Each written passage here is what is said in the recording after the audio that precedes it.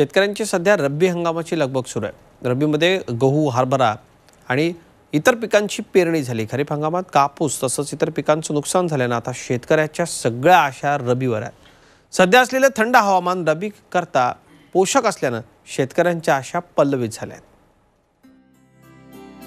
जळगाव जिल्ह्यात सध्या तापमानाचा पारा घसरल्यानं थंडीचं प्रमाण वाढलंय. ही थंडी रब्बी पिकांसाठी पोषक असते.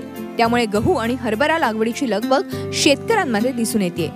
खरीप हंगामात कपाशी उपटून फेकावी लागल्यानं आता रब्बी हंगामात ही कसर भरून काढण्याचा प्रयत्न होताना दिसतोय. जिल्ह्यात रब्बी हंगामात गहू आणि हरभरा ही दोन पिकं प्रामुख्यानं घेतली जातात. आतापर्यंत सुमारे साठ टक्के क्षेत्रावर रब्बी हंगामाची पेरणी झाली आहे थंडीचे हवामान हे हरभरा आणि गहू या पिकाला पोषक आहे. त्यामुळे या पिकांच्या उत्पादकतेत चांगली वाढ होईल असा कृषी विभागाचा अंदाज आहे.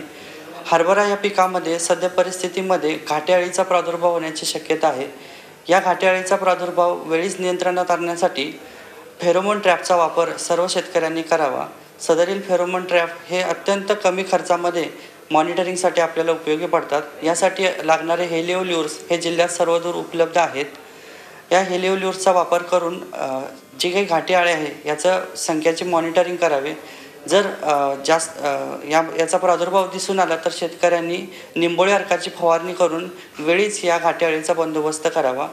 गहू या पिकाच्या पिकाचे सध्या अवस्था चांगली असून गव्हाला काहीही प्रॉब्लेम नाही आहे आणि गव्हासाठी अत्यंत पोषक वातावरण जिल्ह्यात उपलब्ध आहे.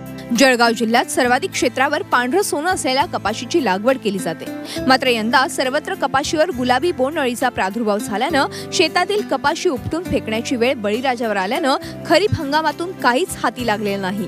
त्यामुळे खरीप हंगामासाठी घेतलेला कर्जाचा डोंगर डोक्यावर आहे. त्यामुळे रब्बीवर शेतकऱ्यांच्या आशा जिवंत आहेत.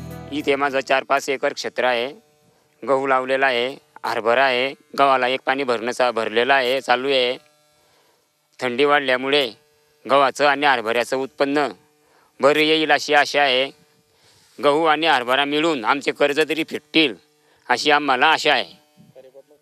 खरीपाचं तर म्हणजे कपाशी तर पूर्ण वाया वाया गेलेली आहे बोंडाळीमुळे बिग्याला एक क्विंटल दोन क्विंटल अशी झालेली आहे. त्यामुळे कर्ज आम्ही भरू शकत नाही कपाशीवरती.